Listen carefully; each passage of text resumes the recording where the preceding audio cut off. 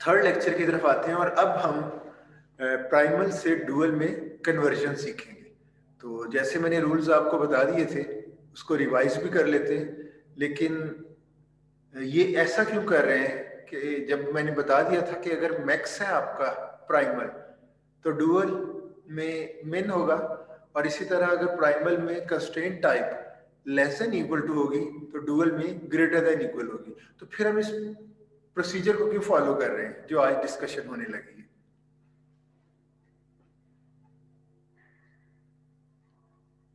तो देखें, आपको ना कोई एल्गोरिथमिक प्रोसीजर चाहिए। ह्यूमन बीइंग तो उसको देख के कर रहा होता है रूल्स उसके माइंड में होते हैं तो आपको एक एल्गोरिथमिक प्रोसीजर चाहिए, जो यानी एक ऐसा कंप्यूटर प्रोग्राम चाहिए जो आपके प्राइमल उसकी इनपुट हो, आप प्राइमल में बता दें ऑब्जेक्टिव फ़ंक्शन मैक्स ये उसकी राइट हैंड साइड है, इसी तरह कंस्ट्रेंट फ़ीड कर दें उसके अंदर, और वेरिएबल्स बता दें तो वो खुद ब खुद कन्वर्ट करे डुअल में।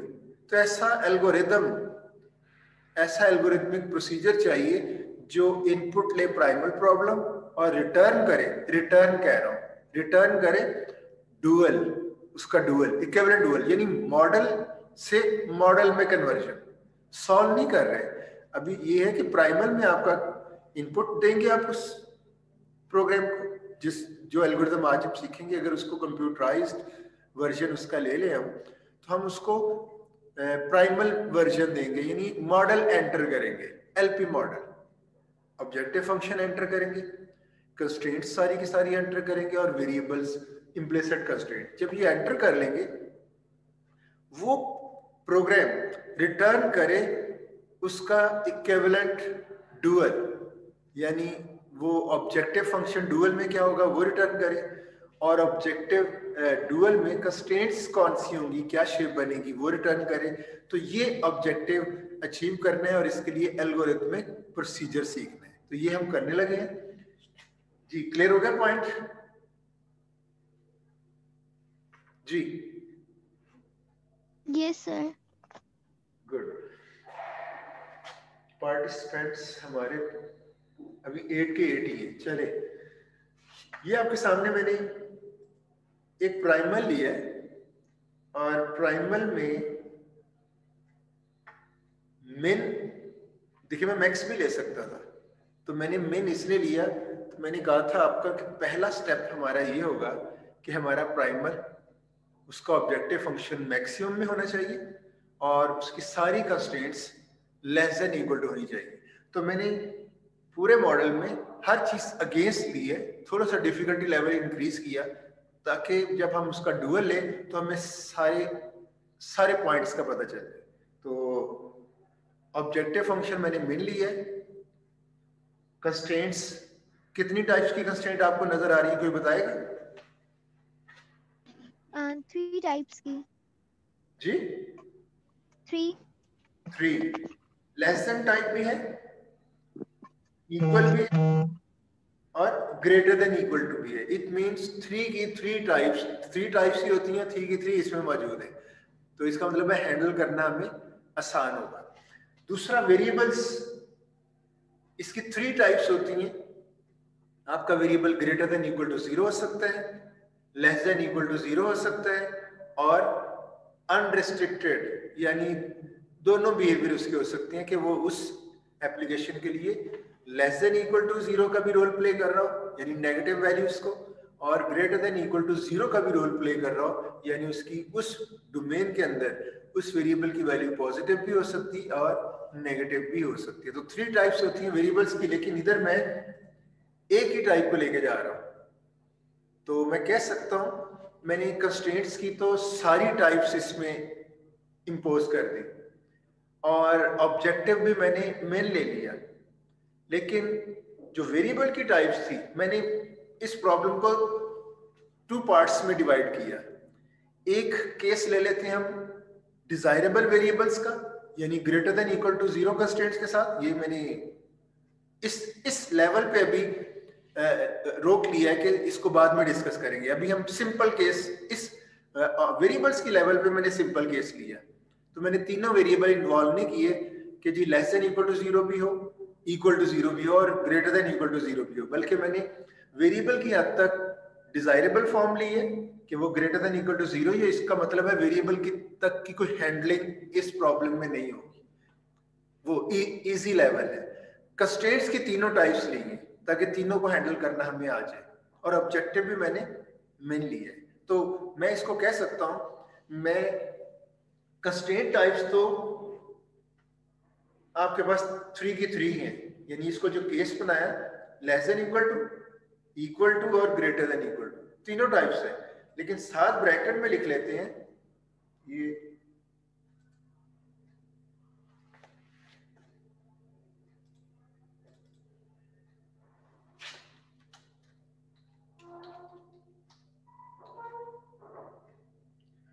desirable. वेरिएबल केस तो इस केस को हम कहेंगे कंस्टेंट्स की तीनों की तीनों टाइप्स और डिजायरेबल वेरिएबल केस और सेकंड क्या होगा? सेकंड नेक्स्ट लेक्चर में हम करेंगे यही थ्री की थ्री टाइप्स लेंगे डिफरेंट लेकिन इधर अनडिजायरेबल वेरिएबल्स भी इन्वॉल्व कर देंगे। तो उसको हैंडल करना, मैंने वो सेकंड स्टेप रख लिया उसका। जी, ये पॉइंट क्लियर हुआ? तो आज हम डिजायरेबल वेरिएबल केस करेंगे कंस्ट्रेंट्स की तीनों डिफरेंट टाइप्स लेंगे। और नेक्स्ट लेक्चर में हम अनडिजायरेबल वेरिएबल्स लेंगे और कंस्ट्रेंट्स की तीनों टाइप के साथ। तो प्रॉब्लम को थ्री डिफरेंट कंस्ट्रेंट टाइप्स को मैंने दो हिस्सों में डिवाइड डिवाइड कर दिया। डिजायरेबल वेरिएबल केस और दूसरा अनडिजायरेबल वेरिएबल केस तो आज हम करते हैं डिजायरेबल वेरिएबल केस तो आप देख रहे होंगे इसमें कंस्टेंट्स तो थ्री की थ्री टाइप्स हैं, लेकिन वेरिएबल मैंने डिजायरेबल लिए यहाँ कोई नेगेटिव वेरिएबल या इक्वल वेरिएबल नहीं लेसन इक्वल टू यानी नेगेटिव वो नहीं इम्पोज किया, दूसरा अनरिस्ट्रिक्टेड वो नहीं इम्पोज किया। इक्वल तो वेरिएबल होता ही नहीं है, वो तो वेरिएबल नहीं रहेगा अगर इक्वल हो जाएगा तो। तो थ्री टाइप्स वेरिएबल्स की हैं greater than equal to less than equal to और अनरिस्ट्रिक्टेड और मैं आज सिर्फ़ greater than equal to zero mean desirable case ले रहा हूँ। नेक्स्ट लेक्चर में इधर भी हम तीनों की तीनों टाइप्स लेके आएँगे वेरिएबल्स में। फिर हमारी कन्वर्जन कंप्लीट हो जाएगी। तो कन्वर्जन के दो ही लेक्चर रखे हैं। एक three different type constants desirable case और second different constant types undesirable case I think problem समझ आ गई होगी कि दो हिस्सों में हमें डिवाइड किया और आज हम केस कर रहे हैं। डिजायरेबल वेरिएबल केस जी, अगर ये पॉइंट क्लियर हो गया तो नेक्स्ट हम चलते हैं। आपके पास सबसे पहला टास्क अच्छा ये देखें, अब मैं एल्गोरिदम बताने लगा हूँ कि प्राइमल से डुअल में कन्वर्ट कैसे करते प्राइमल से डुअल में कन्वर्ट कैसे करते मैंने आपसे कहा था, बल्कि ये याद कर लें सबसे जब आप डुअल में कन्वर्ट करने लगे, सबसे पहला टास्क ये होता है कि आप, आपका प्राइमल जो है वो स्टैंडर्ड प्राइमल होना चाहिए। ये जो स्टैंडर्ड का वर्ड है ये जो स्टैंडर्ड का वर्ड है, ये वो वाला स्टैंडर्ड नहीं है जो सिंप्लेक्स मेथड में करते थे। सिंप्लेक्स मेथड का जो स्टैंडर्ड वर्ड है, वो ऐसे था, वो होता क्या था कंस्टेंट्स को आप इक्वेशंस में कन्वर्ट करते थे और कहते थे ये स्टैंडर्ड फॉर्म आ गई वो उस स्टैंडर्ड की बात नहीं कर रहा हूँ। इधर स्टैंडर्ड की अलग से मीनिंग है। जी फॉलो किया इस पॉइंट को? जरा मुझे यस कर दे। स्टैंडर्ड में यस हाँ स्टैंडर्ड में कंफ्यूजन नहीं होनी चाहिए। वो स्टैंडर्ड को अलग रखें इसको स्टैंडर्ड अभी मैंने वर्ड यूज़ किया प्राइमल स्टैंडर्ड इट मीन जब मैं प्राइमल स्टैंडर्ड की बात करूँ तो वो स्टैंडर्ड फॉर्म नहीं है जो सिंप्लेक्स के लिए ज़रूरी है। अभी तो हम सॉल्व भी नहीं कर रहे। उसमें तो प्रॉब्लम को सॉल्व कर रहे होते थे उसका सोल्यूशन फाइंड आउट कर रहे होते अभी हम इसको प्राइमल को डुअल में कन्वर्ट करना है। यानी एक फॉर्म के अंदर दूसरी, एक फॉर्म में है, दूसरी फॉर्म के अंदर लेके जाना तो पहला स्टेप क्या होगा? आपका ओरिजिनल प्रॉब्लम ये आपका ओरिजिनल प्रॉब्लम है, इसको आप समझ लें ये ओरिजिनल प्रॉब्लम इस ओरिजिनल प्रॉब्लम को आपने प्राइमल स्टैंडर्ड प्राइमल बनाना और स्टैंडर्ड प्राइमल क्या होता है? आपका ऑब्जेक्टिव फ़ंक्शन मैक्सिमाइजेशन होना चाहिए। मैक्सिमम ऑब्जेक्टिव के साथ। और आपकी कंस्टेंट टाइप्स सारी कंस्टेंट के लिए टाइप एक ही होनी चाहिए और वो है लेस देन इक्वल टू ये है स्टैंडर्ड प्राइमल तो स्टैंडर्ड प्राइमल रूल जेन में रख लें। आपका ऑब्जेक्ट अगर मैं कहूँ कि मैंने ये सामने मेरे जो मॉडल पड़ा है स्टैंडर्ड प्राइमल है तो आप देखोगे उसका ऑब्जेक्टिव फ़ंक्शन मैक्सिमम का होगा। उसकी सारी constants less than equal to होंगी। तो अभी आप देखें, यहाँ स्टैंडर्ड प्राइमल में नहीं है।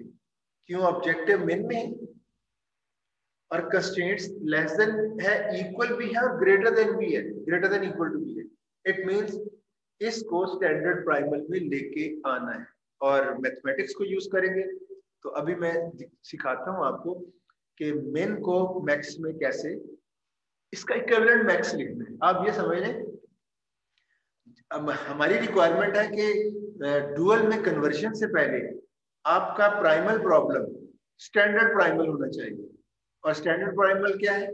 मैक्सिमम ऑब्जेक्टिव और less than equal to constants तो जो नहीं है, उसको लेके आने यूजिंग मैथमेटिक मैथमेटिकल रूल्स तो मेन को मैक्स में लाने के लिए इक्विवेलेंट ये बनेगा। यानी आपका जो मेन है, मैं जब इसको मैक्स बनाता हूँ तो इसका इसी का इक्विवेलेंट मैक्स होगा, इसी मेन का। और रूल ये होता है कि आप, ये देखें स्टैंडर्ड प्राइमल के रूल्स लिखे। प्राइमल क्या होना चाहिए?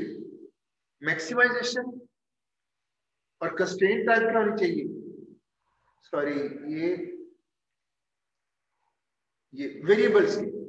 वेरिएबल्स की टाइप्स तो वैसे ही ग्रेटर देन होती है। तो स्टैंडर्ड प्राइमल में पहले वो बाद में मिस कर गया हूँ maximum objective constraints type less than equal to और variables type greater than equal to zero तो ये है स्टैंडर्ड प्राइमरी तो ये देखें maximization objective variables greater than equal to, constraints, all constraints are of less than equal to type. ये आपका standard primal की, के रूल्स हैं। मेन को मैक्स बनाना है। स्टेप वाइज करते हैं। पहले इसको मैक्स बनाएँगे, फिर इनको लेस देन इक्वल टू बनाना है। इधर ज़रूरत नहीं है, ये तो है ही greater than equal to zero आप याद रख लें, आपका मेन सी इक्वल होता है माइनस मैक्स अगर पूरे ऑब्जेक्टिव फ़ंक्शन के साथ माइनस का साइन मल्टीप्लाई कर दें तो मेन आपका चेंज हो जाता है मैक्स बड़ा सिंपल सा है। इसके प्रूफ की ज़रूरत नहीं। तो मेरे पास मैक्स ये था, ये देख लें। 0.4 x1 0.5 x2 ये आपका है मेन जी तो आप दोनों साइड्स पे माइनस को मल्टीप्लाई कर दें माइनस मेन सी और इधर इस साइड को भी माइनस से मल्टीप्लाई कर दें तो ये माइनस मेन सी बन जाएगा। मैक्स ये एक नई फॉर्म आ जाएगी आपके पास। तो देखिएगा। मेन सी क्या होता है? माइनस मैक्स सी तो आप, आपके पास है वही, ये मेन सी था, इसको माइनस से मल्टीप्लाई किया माइनस मेन सी हो गया। वो माइनस मेन सी को आपने कह दिया मैक्स सी और ये माइनस साइन आपने पूरा दोनों साइड्स पे मल्टीप्लाई इधर मल्टीप्लाई कर दिया। इनके सबके साइन चेंज हो जाएँगे। माइनस ज़ीरो पॉइंट फोर है। देखिए, ये माइनस मेन सी हो जाएगा। ये minus zero point four x one minus zero point x two. तो इधर माइनस से मल्टीप्लीकेशन में दोनों नेगेटिव हो जाएँगी। ये माइनस मेन सी मिलके क्या हो जाएगा? मैक्स तो ये देखें, आपका मेन्सी था मैक्सी बन गया, और ये दोनों साइन चेंज हो गए। Minus zero point four, x one minus. तो बताइए, यहाँ तक तो कोई इश्यू नहीं है। मैं इनको कैसे मैक्स में लेके आना? No sir ji. बाकी आपने वही सेम तो अभी मैंने सिर्फ़ फ़र्स्ट स्टेप इम्पोज किया और वो था कि आपका प्राइमल स्टैंडर्ड प्राइमल के रूल्स हैं। आपका प्राइमल मैक्सिमाइजेशन होना चाहिए। तो मैंने सिर्फ़ अपने इस मॉडल को ये मॉडल था मेरे पास सिर्फ़ इसका ऑब्जेक्टिव स्टैंडर्ड प्राइमल में ले आया मैक्स दिस वन नेक्स्ट क्या होगा? आपके तमाम variables greater than equal to type होने चाहिए डिजायरेबल और आप देख रहे हैं कि variables already greater than equal to zero ही है। तो इट मींस वेरिएबल्स के लेवल पे कोई एडजस्टमेंट करने की ज़रूरत नहीं पड़ी। थर्ड तमाम कंस्टेंट्स क्या होनी चाहिए? Less than equal to type तो तमाम कंस्टेंट ये होनी चाहिए, यहाँ पे फ़र्स्ट कंस्टेंट तो ठीक है बाई रूल है। सेकंड इक्वल है। और लास्ट ग्रेटर देन है। इट मींस ये मैंने रेड कलर में शो किया है कि इनकी ये स्टैंडर्ड प्राइमल में नहीं है। Because of equal and because of greater than equal तो इट मींस सिर्फ़ इनको लेस देन इक्वल टू बनाने तो हमारा, हमारी कंस्टेंट्स भी स्टैंडर्ड प्राइमल में आ जाएँगी। ऑब्जेक्टिव स्टैंडर्ड प्राइमल में हम लेके आ चुके हैं। ये ऑलरेडी स्टैंडर्ड प्राइमल में है तो ये इंडिविजुअल कंस्टेंट को पकड़ के उसको less than equal to type में लिया जा सकता है। तो अभी पहले इक्वल को देखते हैं, कैसे लेस देन इक्वल होगी, और फिर हम ग्रेटर देन इक्वल को equal less than equal to type में कन्वर्ट करेंगे। तो इस कंस्टेंट को पकड़ते हैं पहले। जी। इससे थोड़ा ये जरा देखिएगा, मैं एक चीज़ इधर लिखने लगा हूँ, जरा गौर कीजिएगा। एट ग्रेटर देन ज़ीरो और दूसरा मैं लिखता हूँ eight less than zero eight greater than equal to zero ठहरे चले इसको जी, ठीक है। देख लेते हैं अभी कैसे होगा। तो बताएँगे कि एट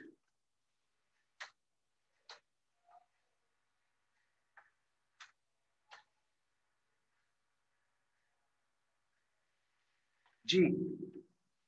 एट अगर greater than equal to zero हो, कौन सी वैल्यूज़ होंगी? ज़ीरो अप टू इंफिनिटी मैं क्या कहना चाह रहा हूँ? खैर सॉरी इधर वेरिएबल इन्वॉल्व करता हूँ। X greater than equal to eight x जी, अब ठीक हुआ। अगर मैंने लिखा है कि एक वेरिएबल एक्स है, और वो है greater than equal to eight और उसी टाइम पे मुझे पता चला कि x less than equal to eight भी है तो मुझे बताएँ एक्स क्या होगा। मैं अभी कह रहा हूँ x greater than equal to zero mean eight and onward up to infinity x की रेंज क्या है? एट और अप टू इंफिनिटी यानी eight nine ten eleven twelve thirteen fourteen up to infinity तो एक्स की वैल्यूज़ हैं eight greater than zero eight का मतलब है x greater than equal to eight का मतलब है एट एंड ऑनवर्ड ये एक्स का सेट होगा। मैं कहता हूँ एट द सेम टाइम ये भी होल्ड कर रहा है कि x less than equal to eight है। तो वो क्या शो कर रहा है कि एक्स एट भी है और लेस देन इक्वल टू वो क्या कह रहे हैं अप टू माइनस इंफिनिटी तक है। तो अगर x greater than equal to eight हो और simultaneously x less than equal to eight हो आपको ये दो इंफॉर्मेशन पता चल जाए कि साइमल्टेनियसली इनको होल्ड करवाना है तो x की वैल्यू क्या होगी? इंफिनिटी नो एट उनमें कॉमन क्या चीज़ है? एट एंड ऑनवर्ड ये तो greater than equal to eight है एक्स और दूसरी कंडीशन क्या है? Eight less than equal to zero means minus infinity तो वो ग्रेटर भी इन्फिनिटी तक जाता है, लेकिन एट से ऑनवर्ड जा रहा है। ये एट से ऑनवर्ड किस साइड पे जा रहा है? दोनों को साइमल्टेनियसली होल्ड करें कि और वो किस तरह से होगा? कि आपका x इक्वल टू एट हो। देखें दोनों चीज़ें ट्रू होंगी इसमें। बाकी में दोनों ही ट्रू होंगी। कोई वैल्यू ले लेते हैं। चलिए मैं वैल्यू नाइन लेता हूँ। मैं दोनों को साइमल्टेनियसली होल्ड कर रहा है। एक्स इक्वल टू नाइन किसको होल्ड कर रहा है? इसको होल्ड कर रहा है? बताइए। मैंने एक्स नाइन लिया है तो बताएँ, इन दोनों में से कौन सी कंस्टेंट ट्रू हो रही है? एक्स नाइन ले लें एक्स की जगह नाइन प्लेस कर दें कौन सी होल्ड कर रही है? सिंपल फ़र्स्ट वन और second one first one first one x में लेता हूँ ट्वेंटी कौन सी होल्ड कर रही है? फ़र्स्ट फ़र्स्ट तो x की 8 से ग्रेटर जितनी वैल्यूज़ हैं सिर्फ़ ये होल्ड कर रही है। क्या ये होल्ड कर रही है उनके लिए? नहीं। No no. तो हमें साइमल्टेनियसली चाहिए। दोबारा मैं इसको ले, लेता हूँ। माइनस टेन एक्स लेता हूँ less than eight equal to eight है ना?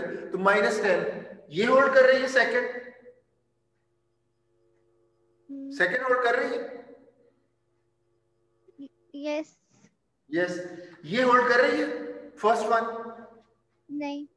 नो इट मींस जित x अगर greater than equal to zero है तो 8 से लेकर इंफिनिटी तक ये होल्ड कर रही है और ये वाली सिर्फ़ एट के लिए होल्ड कर रही है बाकी के लिए नहीं होल्ड कर रही. ये तमाम नेगेटिव एट एट को होल्ड कर रही है और एट से लेस मीन सेवन को भी होल्ड कर रही है। सिक्स को भी होल्ड कर रही है और माइनस इन्फिनिटी तक होल्ड कर रही है। तो कौन सी ऐसी वैल्यू है जिसमें साइमल्टेनियसली ये दोनों को होल्ड कर रहे हैं? वो होगा एट क्यों? ये एट से ऑनवर्ड होल्ड कर रही है। ये एट को तो कर रही है। नाइन को नहीं कर रही। टेन को नहीं कर रही। सिर्फ़ एट को कर रही है। उसमें से एक को। और अगर मैं सेवन लेता हूँ रिवर्स जाता हूँ एट से। एट को तो ये होल्ड कर रही है सेवन को ये कर रही है, ये नहीं कर रही। जितनी लेस वैल्यूज़ है, ये कर रही है, ये नहीं कर रही। इट मींस ये एट और ग्रेटर्स को फ़र्क पहली होल्ड कर रही है एट को भी कर रही है और ग्रेटर को भी कर रही है। दूसरी एट को कर रही है, लेकिन ग्रेटर को नहीं कर रही। और इसकी अगर बात करें ये एट को भी होल्ड कर रही है लेस को भी होल्ड कर रही है और ऊपर वाली लेस को होल्ड नहीं कर रही सिर्फ़ एट को होल्ड कर रही है। तो दोनों में कॉमन क्या चीज़ है? सिर्फ़ एट ही है जो दोनों को एक्स की कौन सी वैल्यू है जो दोनों को होल्ड कर रही है? जी। एट तो यहाँ से आपको यह पता चला कि अगर कोई चीज़ इक्वल हो मसला मैंने लिखा x इक्वल टू एट तो x इक्वल टू एट को मैं अगर इन इक्वलिटीज में कन्वर्ट करना चाहूँ तो मैं x को greater than equal to eight और x less than equal to दो. ये दोनों इसके इक्विवेलेंट दोनों को मिला के लिखूँगा तो ये x इक्वल टू एट ही है. इस चीज़ का क्लियर हुआ पॉइंट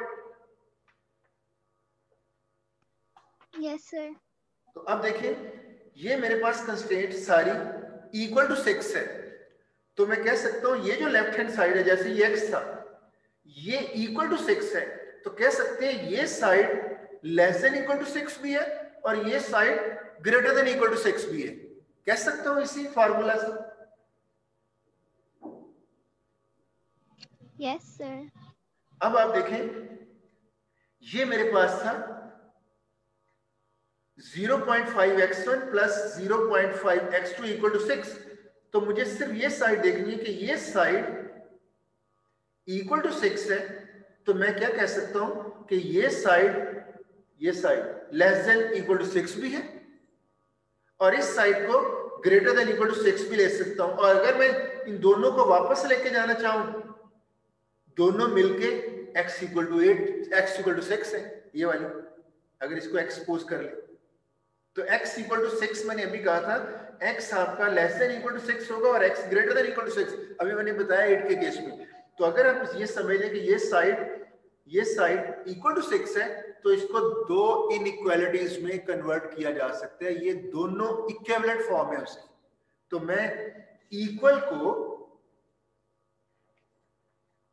ये इसकी इक्वेलेंट फॉर्म है। ये पॉइंट क्लियर हुआ? यस सर तो हमें चाहिए था इक्वल को लेस देन इक्वल टू बनाना। लेकिन अभी भी इन दो के साथ ये ग्रेटर देन अभी भी मौजूद है। तो ग्रेटर देन को इक्वल करना रह गया, बस। तो आपका ऑब्जेक्टिव ये था स्टैंडर्ड प्राइमल में कि कंस्ट्रेंट की टाइप हो लेस देन इक्वल टू तो आप देखिए ग्रेटर देन कैसे होता है। जरा देखिएगा।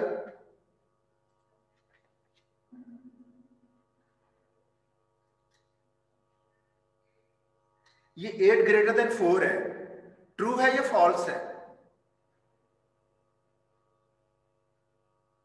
Eight greater than four true और फॉल्स सिंपल ट्रू ट्रू मैं दोनों साइड्स पे माइनस साइन के साथ मल्टीप्लाई करने लगा हूँ इनइक्वालिटी में।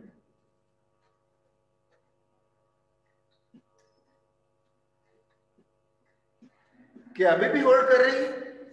नहीं। इनइक्वालिटी चेंज हो रही है। ऐसी है? जी। तो इट मींस अगर मैंने ग्रेटर देन को यानी मुझे क्या चाहिए? दोनों साइड्स पे माइनस से मल्टीप्लाई कर दूँ तो इनइक्वालिटी रिवर्स हो जाएगी। Is it right point clear हो गया? अब आप देखें आपकी ये जो थी ना ग्रेटर देन इक्वल टू आप दोनों साइड्स पे माइनस से मल्टीप्लाई कर दें तो ये greater than equal to less than equal to हो जाएगा। तो अभी देखें, इस साइड पे माइनस से मल्टीप्लाई किया, ये हो जाएगा minus zero point five x one ये भी माइनस हो जाएगा minus zero point five x two और ये ग्रेटर देन इक्वल टू क्या हो जाएगा? लेस देन इक्वल टू और इस साइड से भी माइनस से मल्टीप्लाई करना था माइनस सिक्स इट मीन्स ये देखें दोनों इस इक्वल को, इसकी इक्विवेलेंट फॉर्म ये आ गई, और आप देख सकते हैं कि दोनों की दोनों क्या है? दोनों की दोनों लेस देन में चेंज हो गई है। और यही हम लेके आना चाह रहे थे स्टैंडर्ड प्राइमल में। तो इट मींस अगर आपकी कोई कंस्टेंट इक्वल टाइप हो तो सबसे पहले उसको दो कंस्टेंट्स में चेंज कर लें। Less than equal to same उसमें उसका साइन चेंज करना है इक्वल का। लेस देन इक्वल टू और दूसरे को कर दें ग्रेटर देन इक्वल टू और फिर ग्रेटर देन को दोनों साइड से माइनस पे मल्टीप्लाई करके वो इनइक्वालिटी को रिवर्स कर दें। तो ये इक्वल की इक्विवेलेंट फॉर्म बन जाएगी। कोई पॉइंट प्रॉब्लम तो नहीं यहाँ तक? No sir ji. अब आप कह सकते हो कि इसकी जगह पे आपने क्या करना है? ये लिख देना है ये दो दो से रिप्लेस कर देना है इसको। और ये देखिएगा इसकी जगह दो आ जाएँगे यही कंस्टेंट्स इस ग्रेटर देन को कैसे चेंज करें?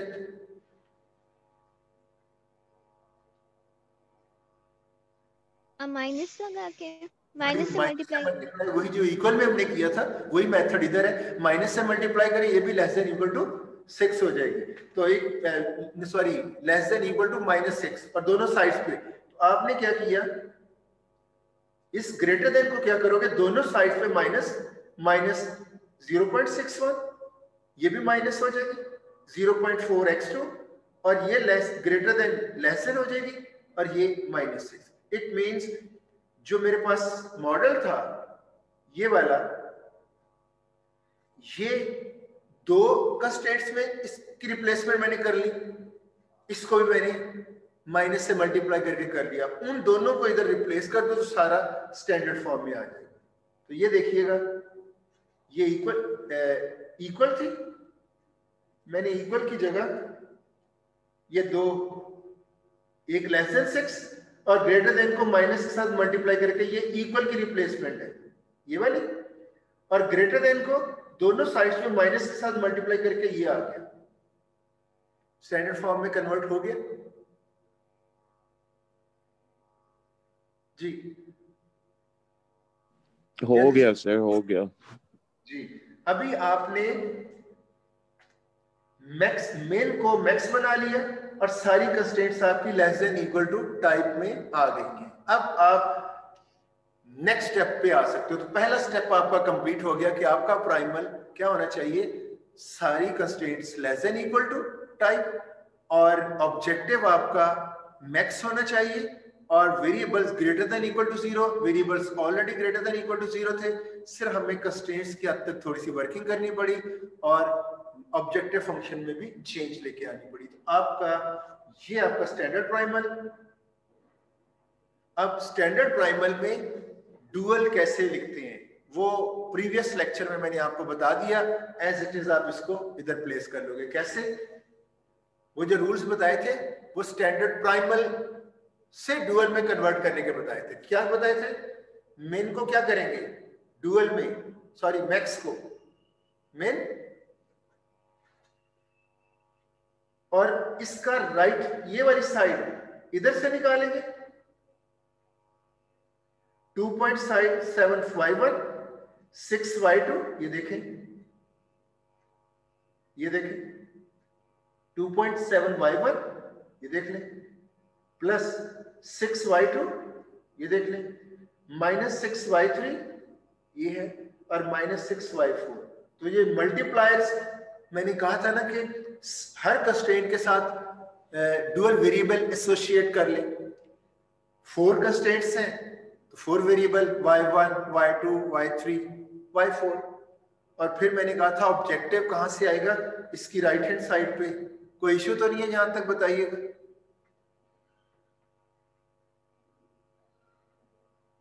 ये भूल गया सब कुछ। नो no, सर समझ आ रही है। समझ आ रही है गुड तो बताएँगे तो मुझे पता चलेगा। अच्छा नेक्स्ट आपकी कंस्ट्रेंट्स कैसे बनती हैं? कंस्ट्रेंट बनती हैं ये जो कॉलम है ये x1 के कोएफिशिएंट ये और z में x का ये कोएफिशिएंट राइट हैंड साइड बन जाएगी। तो ये देखें 0.3 मल्टीप्लायर के साथ 0.3 y1 कॉलम में जाना है ऐसे।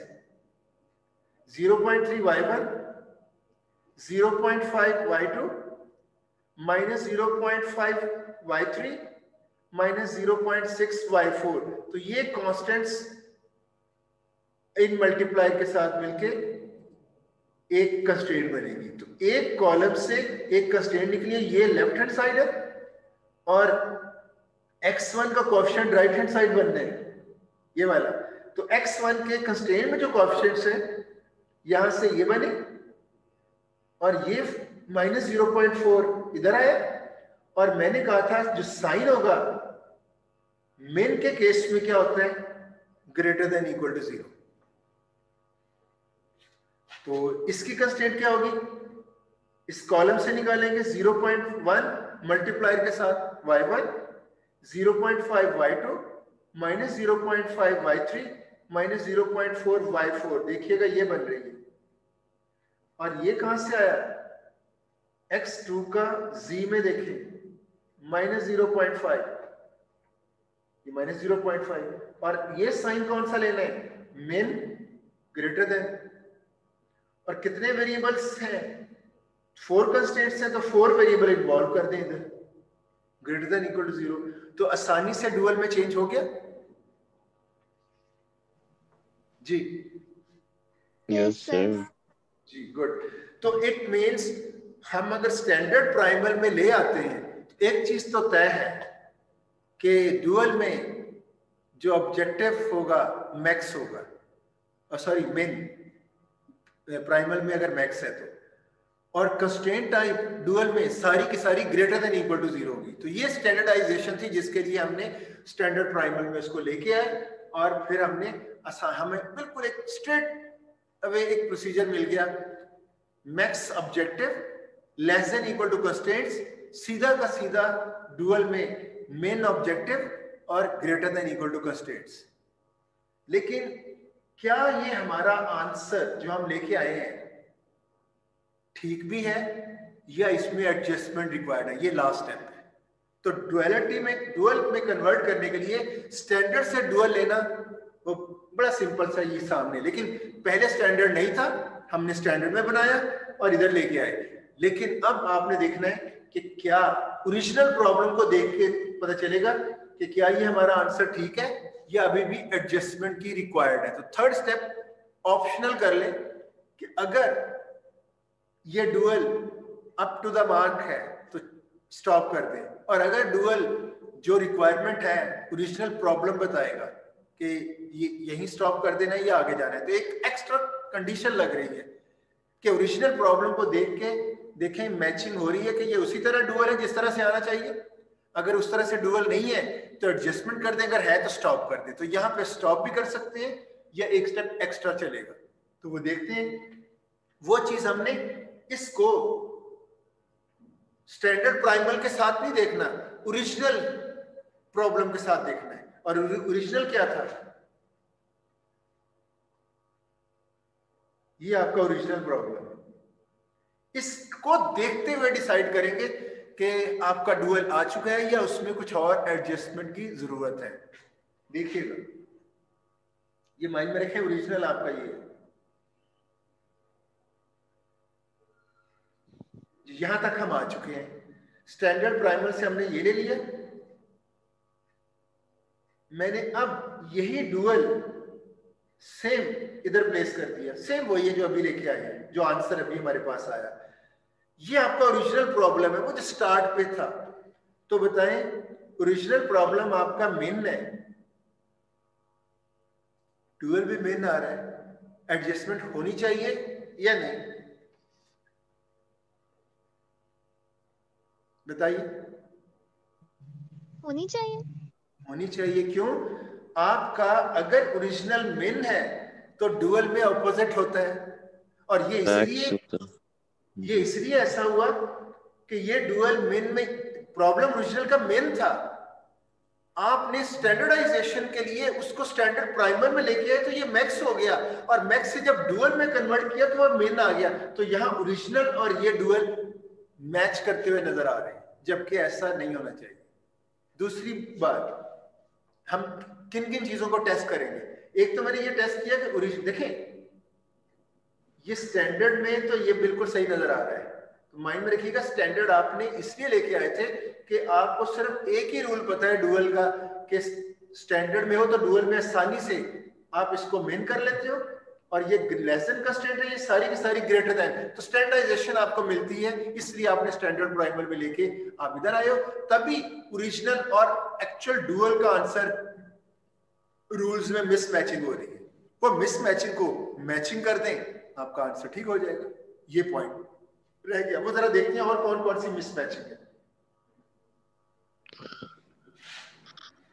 जी। आपका ओरिजिनल मेन है ये मैक्स होना चाहिए। दूसरा आपकी कंस्टेंट्स कितनी है? ओरिजिनल में थ्री है। स्टैंडर्ड प्राइमल की बात नहीं कर रहा हूँ।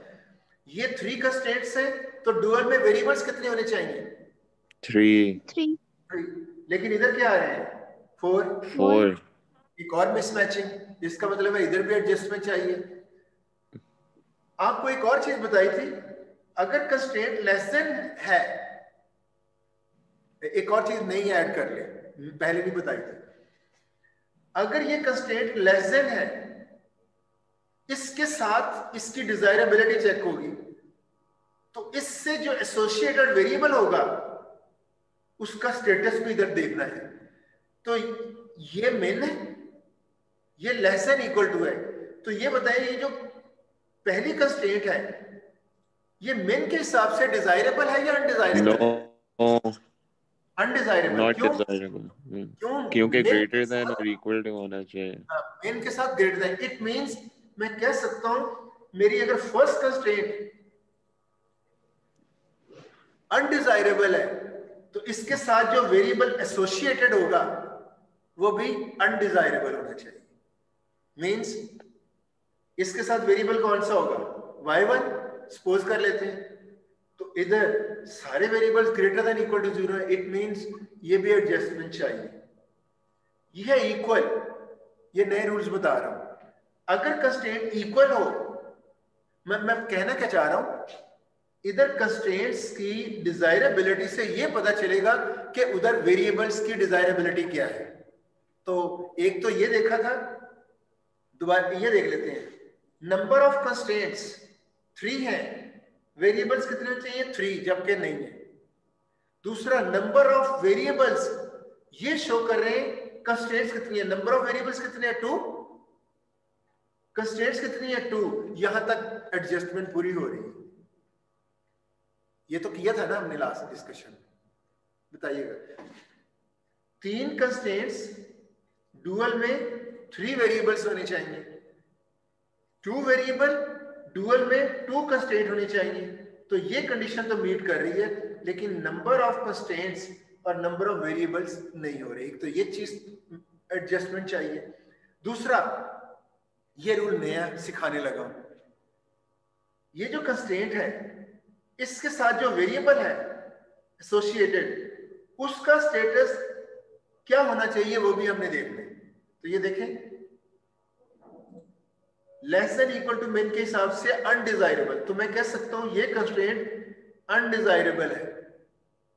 तो इसका वेरिएबल भी अनडिजायरेबल होगा। तो इससे जो एसोसिएटेड वेरिएबल इधर आएगा, वो अनडिजायरेबल क्या होता है? Greater than equal to zero min के केस में डिजायरेबल क्या है? ग्रेटर देन तो अनडिजायरेबल क्या होगा? मेन के हिसाब से लेस देन तो इट मींस इससे जो एसोसिएटेड वेरिएबल इधर होना चाहिए y1 वो less than equal to zero होना चाहिए। फिर एक दफ़ा बताता हूँ, थोड़ा सा पॉइंट मुश्किल है। जेन में रखिएगा। एक चीज़ पहले याद कर ले। अगर कंस्टेंट अनडिजायरेबल है तो उससे एसोसिएटेड वेरिएबल डुअल में अनडिजायरेबल ही होना चाहिए। अगर कंस्टेंट डिजायरेबल है तो उसका वेरिएबल डुअल में भी डिजायरेबल होना चाहिए। तो desirable to desirable undesirable to undesirable लेकिन कंस्टेंट और उधर वेरिएबल की बात कर तो ये कंस्टेंट अगर डिजायरेबल है तो इससे एसोसिएटेड जो वेरिएबल है, वो भी डिजायरेबल होना चाहिए। अगर ये अनडिजायरेबल है तो इससे एसोसिएटेड वेरिएबल अनडिजायरेबल होना चाहिए। अब जरा चेक करते हैं। Constant less than equal to min के हिसाब से गैस होगा। अनडिजायरेबल इट मींस इस ये कंस्ट्रेंट अनडिजायरेबल है तो इस उधर वेरिएबल डुअल में भी अनडिजायरेबल होना चाहिए, जबकि इधर वेरिएबल डिजायरेबल है। डिजायरेबल आपको पता है greater than equal to zero desirable होते हैं। तो ये भी एडजस्टमेंट होने वाली है। ये कंस्ट्रेंट देख ले third greater than equal to zero min desirable है या undesirable third constraint desirable desirable तो डिजायरेबल मीन इससे एसोसिएटेड वेरिएबल भी उधर डिजायरेबल होना चाहिए। और डिजायरेबल वेरिएबल मेन और मैक्स को नहीं देख रहा होता। वेरिएबल तो simply greater than equal to zero desirable less than equal to zero undesirable कोई मेन और मैक्स को नहीं देखना। हाँ कंस्टेंट की टाइप के साथ डिजायरेबिलिटी कंस्टेंट की वो मेन और मैक्स को देख के पता चलती है। जबकि वेरिएबल्स की डिजायरेबिलिटी में सिर्फ़ हमने एक ही रूल है greater than equal to zero desirable less than equal to zero undesirable उसमें मैक्स और मेन का कोई रोल नहीं है। इट मींस ये कंस्टेंट ग्रेटर देन है डिजायरेबल है या नहीं, क्योंकि कंस्ट्रेंट है ऑब्जेक्टिव को देख के कहेंगे। मेन नहीं तो ये डिजायरेबल है। तो इसका, इससे एसोसिएटेड वेरिएबल डिजायरेबल होना चाहिए, क्योंकि ये डिजायरेबल है। तो डिजायरेबल वेरिएबल क्या होता है? Greater than equal to zero और इधर greater than equal to zero ये सारे वेरिएबल तो यहाँ तक तो ठीक है। तीसरी चीज़ आ गई इक्वल ये नहीं पहले आई थी। तो माइंड में रखें, ये अनडिजायरेबल है इसके हिसाब से। तो वेरिएबल अनडिजायरेबल होगा, जो इसके साथ अटैच होगा। ये ग्रेटर देन है मेन डिजायरेबल है, इसके साथ जो वेरिएबल अटैच करेंगे, वो भी डिजायरेबल होगा। इक्वल के केस में क्या होगा? इक्वल कंस्टेंट अगर है मिन और मैक्स को नहीं देखना। इक्वल में भी कंस्टेंट इक्वल टाइप में भी मिन मैक्स को नहीं देखना। इक्वल टाइप अगर कंस्टेंट है तो इससे रिलेटेड उधर जो वेरिएबल है, वो अनडिस्क्रिप्टेड होगा। ये नया रूल ऐड कर ले कि अगर कंस्टेंट टाइप प्राइमल में इक्वल है तो डुअल में उससे जो एसोसिएटेड वेरिएबल होगा, वो अनडिस्ट्रिक्टेड टाइप होगा। तो ये चीज़ थोड़ी सी मुश्किल है, जो आपको समझने में मुश्किल आएगी। तो जरा फिर नोट कर ले। मैं बात ये कर रहा हूँ। अभी मैंने क्या सिखाया, जरा उसको देख लेते हैं। Constant time less than equal to desirable है या नहीं, कैसे पता चलेगा? ऑब्जेक्टिव फ़ंक्शन को देखते min less than undesirable variable भी अनडिजायरेबल होना चाहिए, यानी less than equal to zero equal इसको देखने की ज़रूरत नहीं इक्वल को कहीं देखने की ज़रूरत नहीं. इक्वल कंस्ट्रेंट मीन इसके साथ जो वेरिएबल अटैच होगा, इधर अनरिस्ट्रिक्टेड होना चाहिए, और अनरिस्ट्रिक्टेड इधर नई चीज़ आपको सिखाई जाएगी इस कंस्टेंट की type greater than equal to zero min के साथ देखा जाएगा. डिजायरेबल वेरिएबल भी डिजायरेबल डिजायरेबल वेरिएबल होता है greater than equal to zero तो दो चीज़ें ऐड हुई, एक आपके पास इसकी और एक इक्वल का नया वर्ड आया। बाकी वेरिएबल्स की कंस्टेंट तो वैसे ही सही है, बल्कि इसको भी देखना चाहिए। ये दोनों वेरिएबल्स डिजायरेबल है और वेरिएबल्स के लिए हम ऑब्जेक्टिव को नहीं देखते। Greater than equal to zero ही काफ़ी है, ये बताने के लिए डिजायरेबल अगर ये डिजायरेबल है तो इनसे रिलेटेड जो कंस्टेंट्स होंगी एक्स पहला वेरिएबल पहली कंस्टेंट तो ये डिजायरेबल है तो कंस्टेंट भी डिजायरेबल होनी चाहिए। तो ये डिजायरेबल है या नहीं, ये कंस्टेंट बताइएगा। ग्रेटर देन मेन बताएँ डिजायरेबल है? असद मैंने ये कहा सॉरी सर दोबारा पूछें। देखिए ये variables x1 greater than equal to zero है मीन डिजायरेबल है। यस सर ऑब्जेक्टिव फ़ंक्शन को देखे बगैर क्यों? Greater than equal to zero desirable होता है। अगर वेरिएबल डिजायरेबल है फ़र्स्ट वेरिएबल तो फ़र्स्ट कंस्ट्रेंट भी डिजायरेबल होनी चाहिए उधर। तो ये कंस्ट्रेंट क्या है? Greater than equal to type और ऑब्जेक्टिव yes, क्या है? मेन मेन तो ये डिजायरेबल है या नहीं? है। यस yes, इसका मतलब है ये डिजायरेबल है, इसको एडजस्ट करने की ज़रूरत नहीं। X two greater than equal to zero desirable constraint second, greater than, main, desirable तो यहाँ की हद तक जहाँ जहाँ एडजस्टमेंट हो सकती है, वो मैंने हाईलाइट कर दी, जो नहीं हो सकती, उसको भी बता दिया। ये गौर से दोबारा सुनिए। और फिर मैं ये बताऊँगा कहाँ कहाँ पे एडजस्टमेंट होनी है मेन डुअल में क्या होना चाहिए? मैक्स इसका मतलब इधर भी एडजस्टमेंट चाहिए। ये एक point number of constants three number of variables three four हो रहे हैं। इधर भी एडजस्टमेंट चाहिए। Number of variables in primal two number of constants in primal two no adjustment is required clear ये तो नंबर का हो गया। अब आने कंस्टेंट्स की type less than equal to min undesirable इसका वेरिएबल इधर अनडिजायरेबल होना चाहिए, जबकि इधर डिजायरेबल है एडजस्टमेंट होगी। सेकंड इक्वल कंस्टेंट इसका जो एसोसिएटेड वेरिएबल दूसरे प्रॉब्लम में अनडिस्ट्रिक्टेड होना चाहिए। इधर तो रेस्ट्रिक्टेड है greater than equal to zero adjustment होनी चाहिए।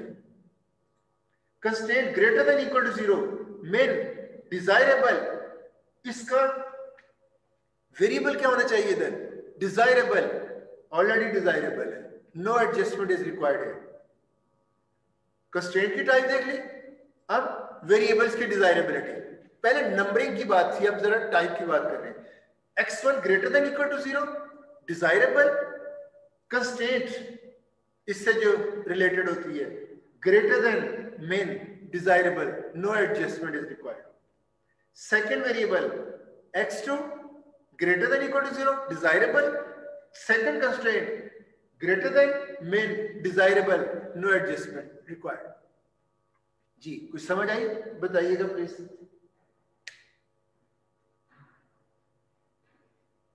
पॉइंट की समझ आई? ये एक दफ़ा और बता दो। नहीं सर बस। बस। अभी सर वो आपने बता क्विज का बताना था? हाँ क्विज का बताना था? आ, वो यहाँ तक कि छोड़ दें इस लेक्चर को मैं अभी आपसे ना कुछ मार्क्स के हवाले से असाइनमेंट के मुझे मार्क्स मिले और कुछ की असाइनमेंट्स या किसी ने ईमेल कर दिए मुझे तो टीए ने सिर्फ़ एलएमएस पे सबमिशन वाली ही मार्क की हैं। बाकी मैंने आपसे पूछना है कि किस किस की असाइनमेंट के मार्क्स उसमें मिसिंग होंगे ताकि वो मैं पॉइंट आउट करके आगे वो ईमेल से सर एक क्वेश्चन जी जी। मिन और मैक्स में जब हम आर्टिफिशियल वेरिएबल्स ऐड करते थे तो कंस्ट्रेंट्स सिर्फ़ ग्रेटर देन और इक्वल टू ही देखते थे ना? और इक्वल टू यस लेकिन फिर इसमें क्यों फ़र्क आ रहा? नहीं वो सिंप्लेक्स मेथड है। उसको इसके साथ अच्छा सही सही। करना यहाँ तो हम एक नया एल्गोरिदम सीख रहे हैं और वो है प्राइमल से सोल्यूशन नहीं फाइंड आउट कर रहे फॉलो करें? प्रॉब्लम को सॉल्व yes, कर रहे उस प्राइमल का ओरिजिनल का डुअल इक्विवेलेंट डुअल